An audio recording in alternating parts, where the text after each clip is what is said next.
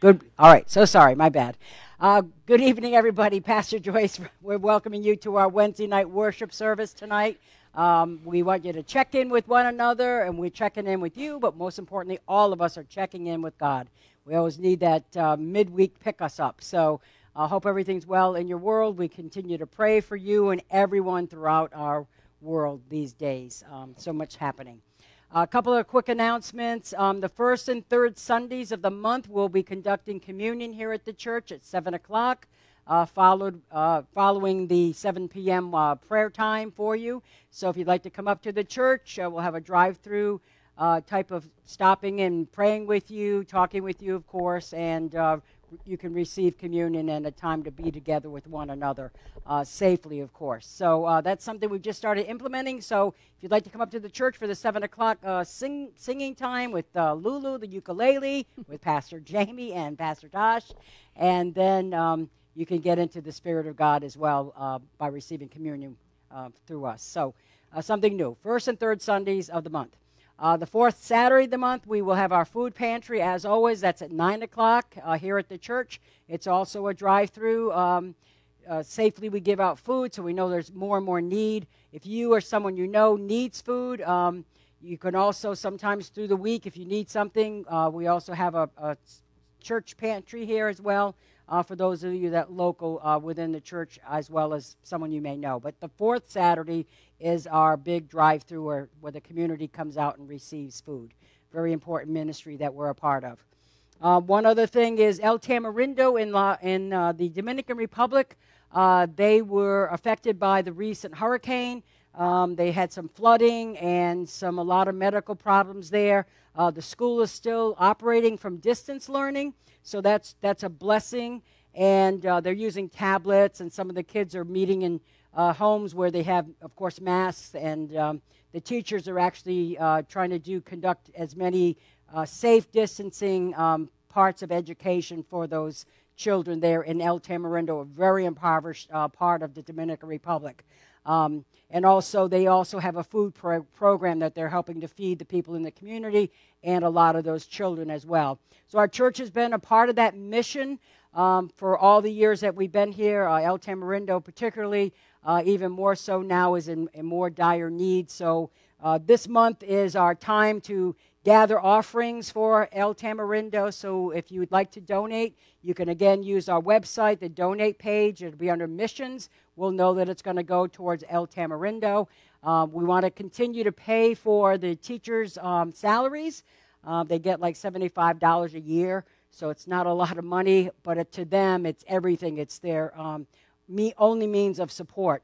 Um, and also, uh, in that salary, they get health insurance. They have no other means of health insurance if it weren't for uh, this ministry that we have. So, uh, you know, if God puts it on your heart, if you'd like to send it to the church this month, we'll be sending them some money at the end of August. So, we want to start promoting that now so that we are able to um, be able to send as much money as possible to help that ministry and those folks that are in such important need. So uh, God will bless you, and we're doing what we can wherever we can. And the Dominican Republic is a, a place that God has placed on our hearts. And for the last 27 years, this church has supported uh, the orphanage in La Llorena, as well as a school and uh, church that's in El Tamarindo. So we ask for blessings and prayers upon them as well. They're going through very difficult times because of COVID, more so than what we could face here. So uh, just kind of want to put that out there. So I know we're generous and you're generous, so please consider uh, giving to that mission. Without uh, further ado, I suppose it's time to come into a time of worship with God, to be revived, refreshed, to have God's Spirit move in us and through us uh, for the love of God to rain down upon you all and us all as God continues to do. We're going to sing praise and worship, hear the word of God, and hopefully that'll be something that will encourage you, uplift you, and give you hope and give you more strength as you're going through your own uh, personal trials in these days that we're apart. So God is there with you. We're with you in spirit and in this ministry. It's so important that we reach out and have this worship service on Wednesday nights. So thank you for joining us. Let us pray. Loving God, in the name of Jesus, we come before you, God. We know that you are a God who sustains us, who provides for us, but especially who loves us and cares all about us, God. We know that the things that we cannot control, the things that are so difficult for us to handle, God, the problems, the impossibilities that all of us are facing throughout the world are in your hands, God, and you, God, can change and transform anything. And we thank you for that, God. As we come into this time of worship, let us set aside our fears, our worries, our concerns. We come into your presence where we can be at peace. We can feel your presence upon us. We can feel your loving arms around us, and you can strengthen us, support us, and help us, God, continue to be resilient people who continue to do what we can to minister to others, God, and to especially to spread your love wherever we may be. We ask the anointing of your Spirit upon this service this night. In Jesus' name, amen. Amen. Good evening, everyone. I'm so glad that you could join us this midweek for this midweek service. We're going to sing one of Tasha's favorite songs. I pulled it out just for her. And every time we sing this song, I think about the parable that Jesus told. Par- Jesus told a story about two dudes one built his house upon sand. We called him the foolish man. Very foolish. Built his house on sand, and when the storm came, his house didn't last very long. It got swept away. But there was another dude who built his house on the rock. And when the storm came, boy, it didn't matter. His house stood firm. Now, there's a children's song about that, but we're not going to sing that tonight. We're going to sing this adult version. But the fact of the matter is is if you have your life built properly on the rock and that rock is Jesus doesn't matter what's happening out in this world the storms may come the sun may come it doesn't matter but you're going to stand firm on that rock. So tonight if you haven't chosen to build your house on a rock that would be my strong suggestion for this evening. That would be the wise dude that would be the wise dude. I'm sorry. He was the wise dude. The sand guy was the foolish dude. Be a wise dude tonight.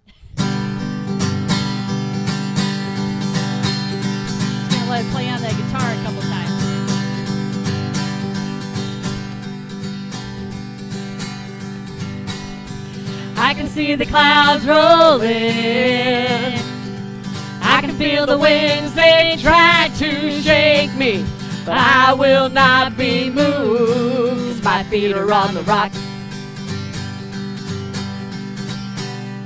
I can feel the waters rise. I can hear the howling lies that haunt me.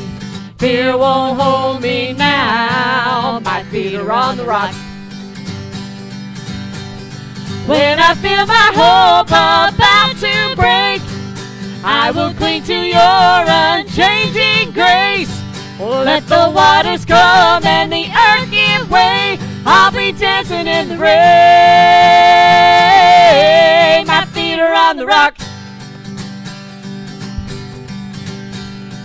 I can see the morning light.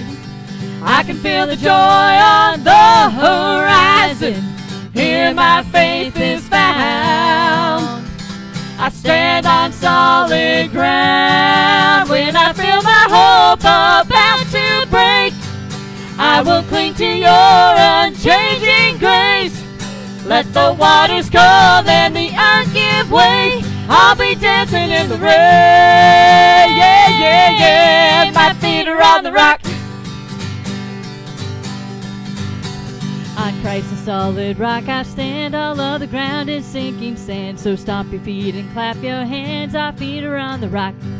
On Christ the solid rock I stand, all other ground is sinking sand. So stomp your feet and clap your hands, our feet are on the rock. On Christ the solid rock I stand, all other ground is sinking sand. So stomp your feet and clap your hands, our feet are on the rock. When I feel my hope about to break, I will cling to your unchanging grace. Let the waters come and the earth give way. I'll be dancing in the rain. When I feel my hope about to break, I will cling to your unchanging grace. Let the waters come and the earth give way. I'll be dancing in the rain are on the rock. Ooh, my feet are on the rock. Ooh, my feet are on the rock. There they are. Exactly. Be a wise dude.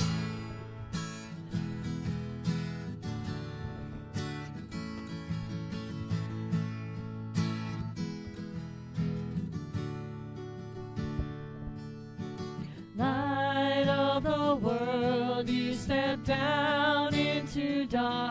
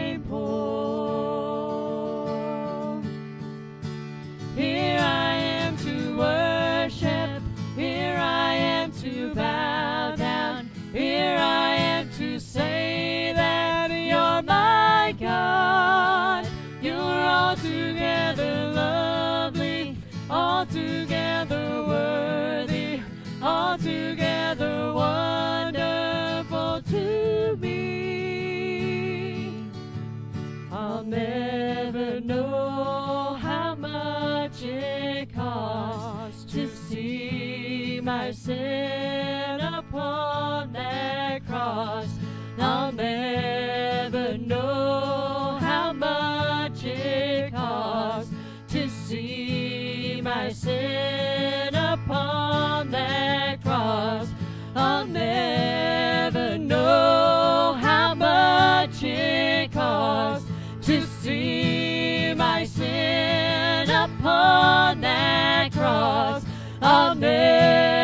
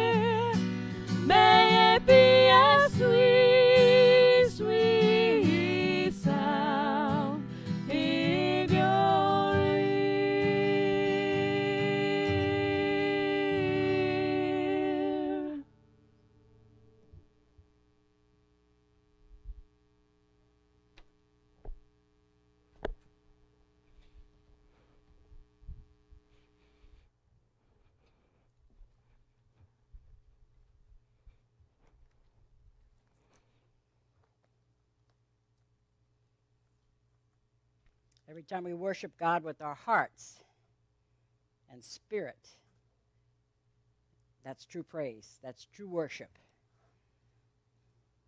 So wherever we are, we can praise God, we can thank God, we can worship God by being grateful, by being praise filled, and constantly focusing in on all that God is and God's awesomeness. And our love for God is reciprocated by God's love for us, although maybe God's love is a little greater sometimes than what we can sometimes show God our love is. So, um, but we show God's love every time we do what God would ask us to do and we have faith and trust in God as well as loving others. That's what that's really what shows that we are truly Christ's children. So tonight we're going to go to the book of Second Chronicles, um, chapter 20, and um, it's a it's an awesome story. It's uh, a, it's about a time when there were problems uh, for uh, King Jehoshaphat and his people, and there was all kinds of turbulence, and, and his enemies were about to really just attack and destroy the people in Judah. So that's what this story is all about. So sometimes it's not as literal as that, that we have enemies ready to attack us. Although it seems like most of us throughout our lives have problems that seem to attack us or, or things that come our way, circumstances that are problematic to say the least, and they mount up. And then we get to the point of where we just don't know what to do. So that's kind of what, what the theme of this story is going to be about, and we're going to see what Jehoshaphat does with that. So, uh, verse, verse in uh, Second Chronicles 20. After this, the armies of the Moabites, Ammonites, and some of the Meunites declared war on Jehoshaphat. So the me people, you get that? You see how that goes in there? Mm-hmm. Those me people declared war on Jehoshaphat. Messengers came and told Jehoshaphat, a vast army from Edom is, is marching against you from beyond the Dead Sea. They're already at Hazazon Tamar. This was another name for En Gedi. Jehoshaphat was alarmed by this news and sought the Lord for guidance. So, as soon as alarming news came, we see that what he does is he goes to God for guidance. So when problems come our way, we go to God for guidance. Good directions here. He also gave orders that everyone throughout Judah should observe a fast. So, what that means is they're going to pray and they're going to stop eating and they're going to focus only in on God. So, they're not going to be busy doing all kinds of things. They're going to be just be stopping, praying, and fasting and just bringing the, this big problem to God. So, fasting on the news, the weather, uh, fasting on anything in their life that they're busy about. They're going to just stop everything, whether they were farmers, whether they were uh, sheep, uh, shepherds, rather. Uh, they would uh, stop what they were doing, fast, and, and go to God in prayer. So, two things we do when problems come our way go to God for guidance, and we gather everybody, the whole entire land of Judah stopped to pray. Okay, so people from the towns of Judah came to Jerusalem to seek the Lord. So not only did they stop where they were, they all came together. They went to Jerusalem, the, where the Holy Temple was, that Solomon had built there, because uh, Jehoshaphat was actually a descendant of uh, Solomon and David. So he knew that this, obviously, the temple had been built in Jerusalem. And so the people of Judah go to Jerusalem to seek God. They go to the temple, they go to the place where they can worship. Jehoshaphat stood before the people of Judah and Jerusalem in front of the new courtyard at the temple of the Lord. He prayed, O Lord God of our ancestors, you alone are the God who is in heaven. You are ruler of all the kingdoms of the earth. You are powerful and mighty. No one can stand against you. So, this is what Jehoshaphat's doing. He's affirming who God is powerful and mighty. God, did you not drive out those who lived in this land when your people arrived? And did you not give this land forever to the descendants of your friend Abraham? Your people settled here and built this temple for you. They said, Whenever we are faced with calamity such as war, disease, or famine, we can come to stand in your presence before this temple where your name is honored. We can cry out to you to save us, and you will hear us and rescue us. This, by the way, comes from the prayer that Solomon had made when he dedicated that temple in 1 Kings chapter 8. So that long prayer of Solomon when, the, when that temple was dedicated and put in place for a place where people could come and just pray towards the temple even. They don't have to physically be there. They could pray toward the temple. This is one of the scriptures that Solomon, or prayer that Solomon had read uh, to the people when they gathered to dedicate that temple. So here Jehoshaphat is repeating the same prayer and, and acknowledging that when we're faced with war, disease, or famine, we come and stand in your presence. And we, those of us that much long after that who are Christians, anytime we stand in prayer and close our eyes, we pray towards God who we know is in heaven and Jesus Christ who is a mediator that prays to God on our behalf. We can stand in God's presence anywhere, no matter what's coming at us, and be in God's presence and pray. And so we cry out to you to save us, and you will hear us. This is how confident he was. He knew that God would hear and God would rescue them. So even though the Moabites, Ammonites, and the Meunites were coming after them, he went to God. And so obviously he affirmed the same prayer that his ancestor uh, had taught him, and he continues to believe that same thing about God. And so we continue to believe the same thing about God as well as we read it in Scripture here tonight. Now, see what the armies of Ammon, Moab, and Mount Seir are doing. You would not let our ancestors invade those nations when Israel left Egypt, so they went around them and did not destroy them. Now see how they reward us. They've come to throw us out of your land, which you gave us as an inheritance. O our God, won't you stop them? We are powerless against this mighty army that is about to attack us. We do not know what to do, but we're looking to you for help. So, here we have a major problem. He realizes, as the people do, that they don't know what to do. They don't know how to get out of this situation. There are many, many, there's three large armies that are coming against uh, the people of Judah. So he, all he knows to do, Jehoshaphat as the leader here, is to go before God and say, We're powerless. We admit that. We know that. And we don't know what to do, but we're asking you for help. And so he has a faith and a trust that God will help him.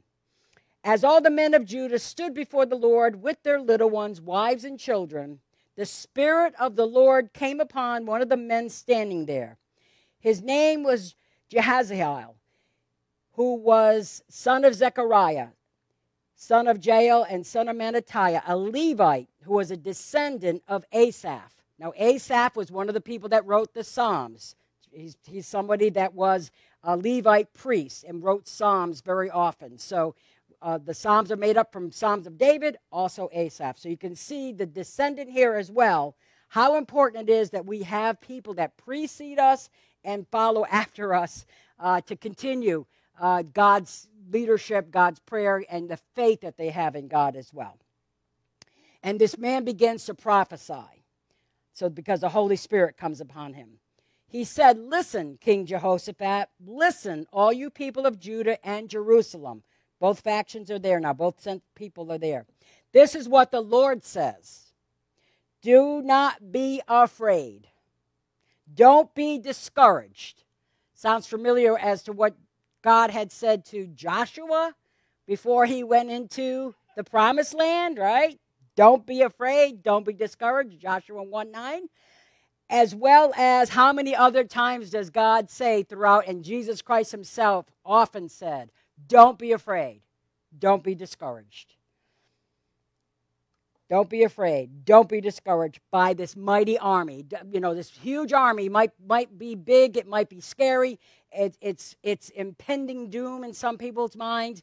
It's more than they can handle to defend themselves against. They can't possibly, in their natural way, uh, physically, it's impossible for them to defeat this army. They know that.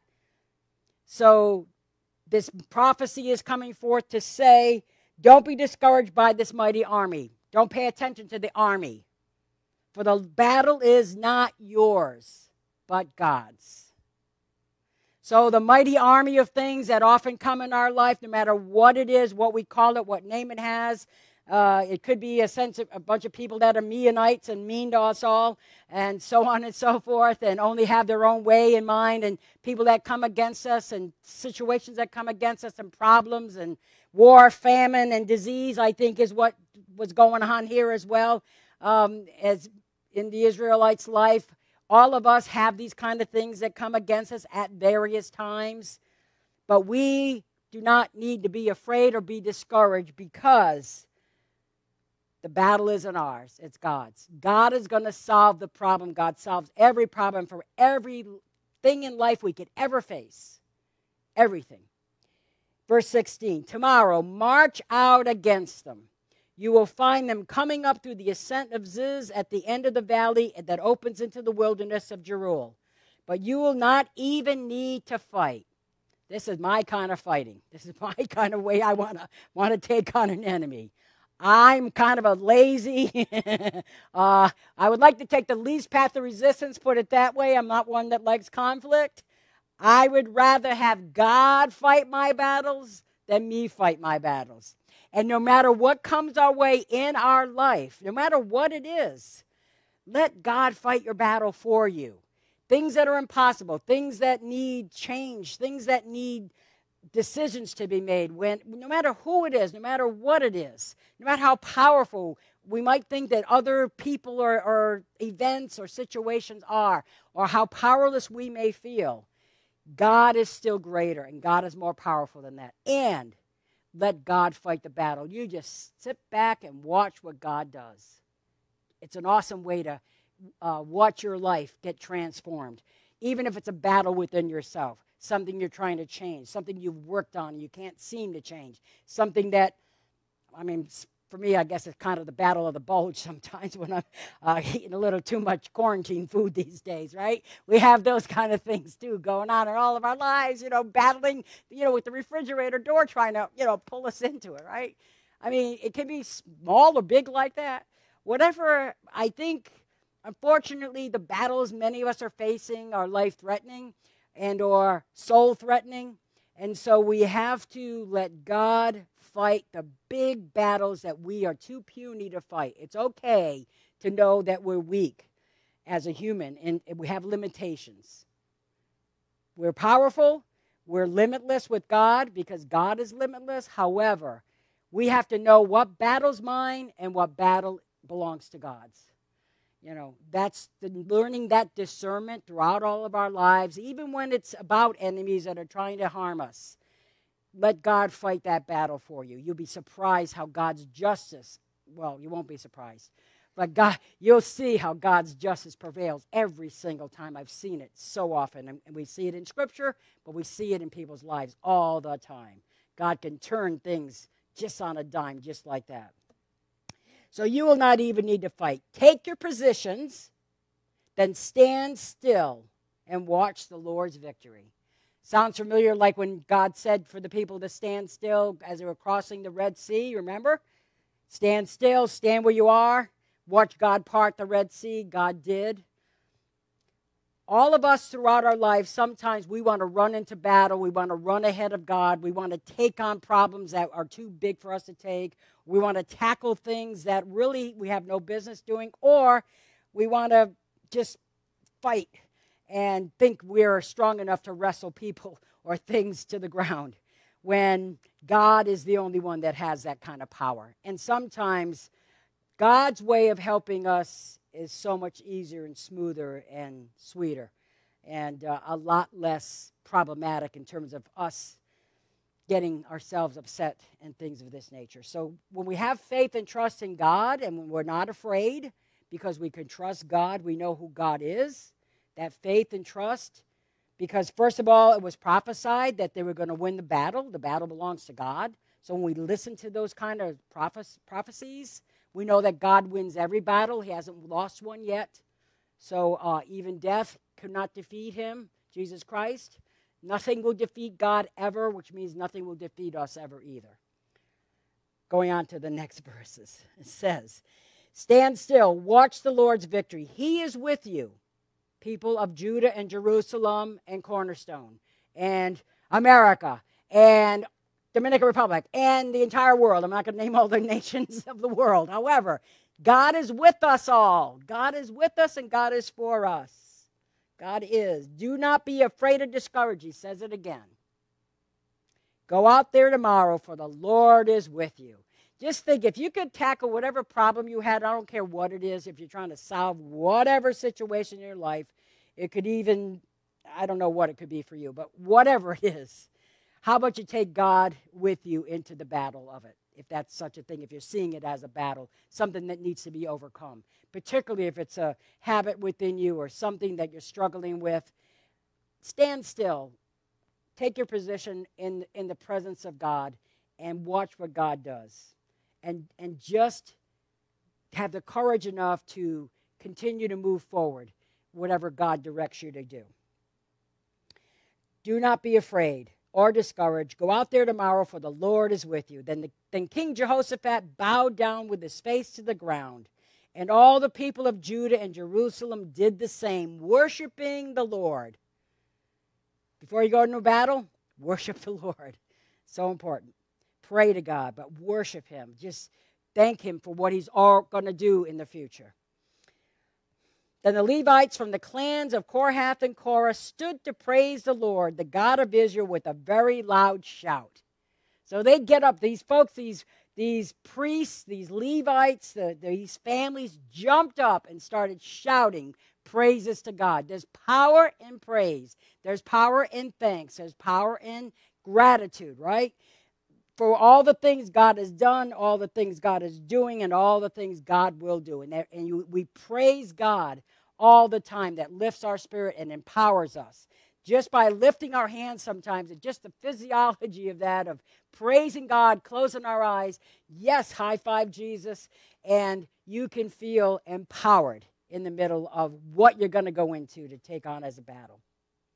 Early the next morning, the army of Judah went out into the wilderness of Tekoa. On the way, Jehoshaphat stopped and said, Listen to me, all of you people of Judah and Jerusalem.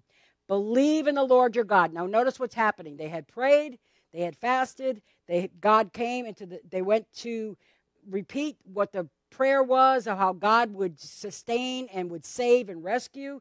They affirmed all that. Someone spoke for God on God's behalf to encourage the people to say the battle's not yours, it belongs to God. God's the word comes, don't be afraid, don't be discouraged. And the very next thing that happens after they praise God, this is part of the steps of what's all going to transpire. They're going into a, a war, keep in mind. They're going to go fight a battle, so they think.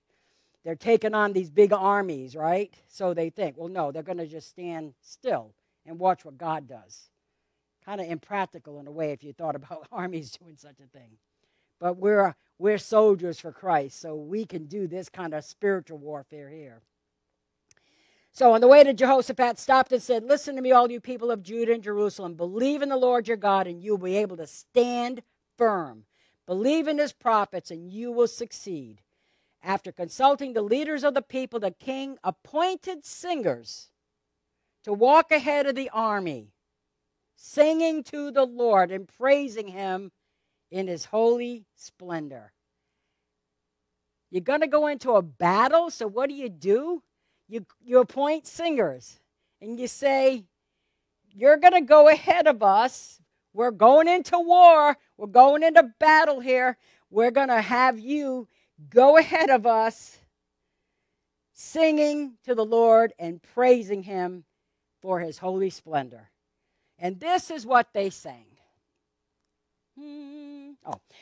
Give thanks to the Lord, for he is good. His love endures forever.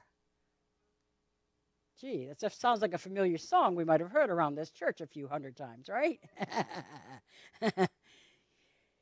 this comes out of the Psalms, it comes out of First Chronicles. This is a song of praise that David had sung. Give thanks to the Lord. He is good. His love endures forever. That's what they sang going out into battle. At that moment, they began to sing and give praise. Now, here's two sides of this, right? So you got people singing, Give thanks to the Lord, his love endures forever. At that moment, they're singing, they're giving praise in that song. The people are praising. The Lord caused, caused the armies of Ammon, Moab, and Mount Seir to start fighting among themselves. The armies of Moab and Ammon turned against their allies from Mount Seir and killed every one of them.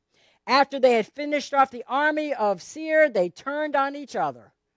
Praising while the people are praising and singing God, these people come against each other. It's like because obviously these are the type of people, especially Meunites, who only care about themselves, are going to fight other people to kind of take care of themselves, right? So they begin to battle themselves. You see the you see a, a house divided will not stand. So you can't fight one another inside either. Division never works ever. You know, Satan tries to divide, Jesus multiplies. So that's what God does. And as we multiply our praises and our singing all the time to God and we affirm, give thanks to the Lord he is good. His love endures forever. We give thanks to God in the midst of a storm, in the midst of a problem, in the midst of taking on any kind of enemy of any kind that we might have. And even if it's the refrigerator or the chocolate piece of pie that's sitting over there, whatever it might be, when we instead put our mind and our hearts on God and who God is, and this is the holy temple of God, and I, I need to respect it and take care of it, right?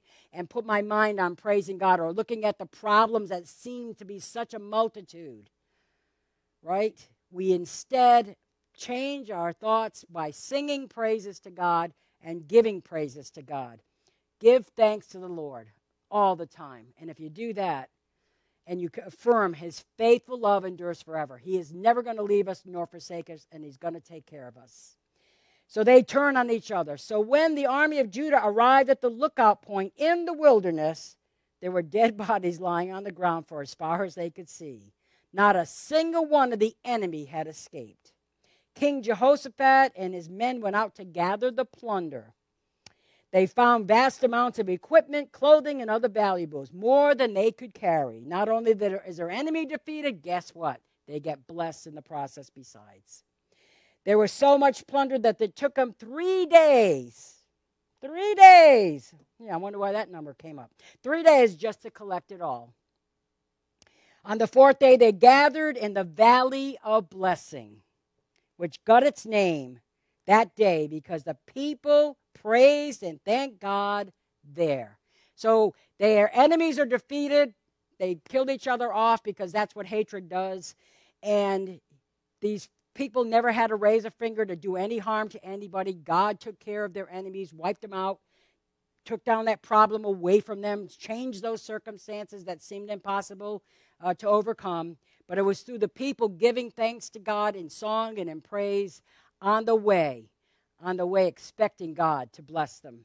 And then when they get to that place, they gather all those blessings. And some of the blessings we've received at the end of a problem being solved, just it, the sense of relief is a blessing unto itself.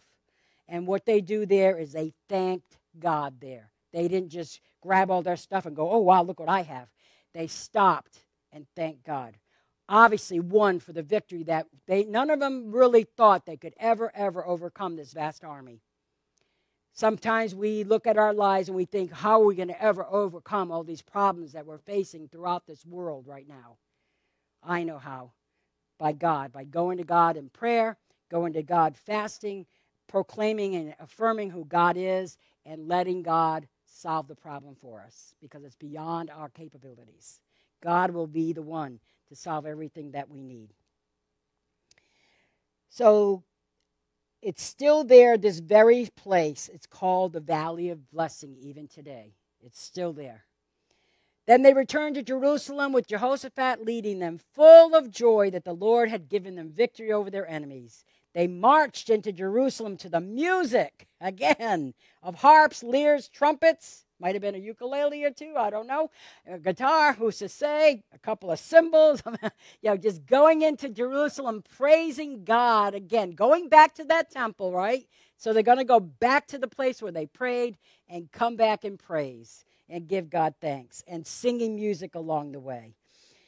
So they, they proceeded to the temple of the Lord when the surrounding kingdoms, kingdoms, heard that the Lord himself had fought against the enemies of Israel, the fear of God came over them.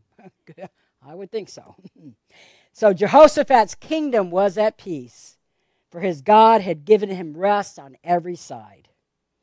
And Jehoshaphat was 35 years old, and he reigned 25 more years after that. So, great big victory, right? Big, big, big problem at the beginning of the chapter. Look what transpires as the steps along the way. You go back and read the story so you can, you know, mark those places where you can see when you are faced with a battle, when you're faced with a problem, the steps you can take, what we are taking as a church family, certainly. Um, and then we're going to stand firm in the presence of God, believing and trusting. Uh, but also, we're going to continue to sing praises. Have you noticed our services always begin with music? Why? It's because it ushers in the Spirit of God. We praise God before we do anything, before the word comes forth, because we want to be in a spirit of thankfulness and gratefulness and praise to God. And all the time. One of the scriptures we always want to know and, and look at constantly, which is a true statement. It's not just a song that we sing here at church. But give thanks to the Lord, for he is good. His love endures forever. If we could just say that phrase all the time, it's Second Chronicles 20. It'll be verse, uh, let me see what my eyes say, 21. So that way you can remember that verse. But I think uh, maybe a song's coming, I guess. I think somebody should sing this song, maybe. It wasn't planned or anything, but I thank you for that. So sing along with us. So, whatever, let, us look, let's look at it this way. Whatever vast problem all of us are facing right now, we stopped. We are praying and fasting. We're putting our focus and attention on God. We're affirming who God is. We know that whether there's war, famine, disease, or anything, God will help us overcome that. And we all know that the battles all of us face are greater than us, but our God is greater than those battles. So remember, when the battle's not yours, let God be the one that steps in and helps you. And as you put your problems down on paper sometimes, or wherever, however you do that in your prayer time, give God a to do list. While you're doing that, say to God, Thank you, God for already answering this prayer that I'm writing down and all the other prayers you already answered. Because, Lord God, you are good.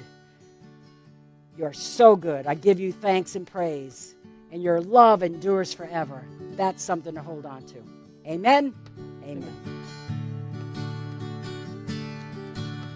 Give thanks to the Lord, our God and King. His love endures forever. For he is good, he is above all things. His love endures forever. Sing praise, sing praise, sing praise, sing praise. With the mighty arm, his love endures forever. For the life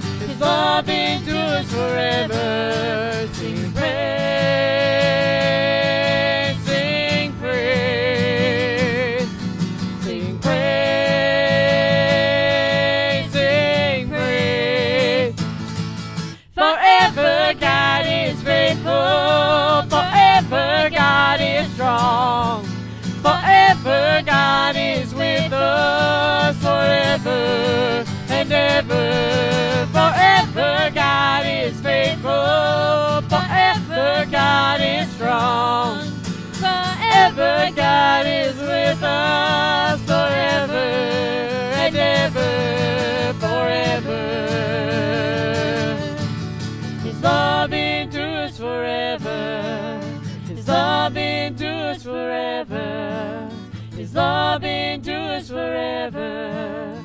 His love endures forever. His love endures forever. His love endures forever. His love endures forever. His love endures forever.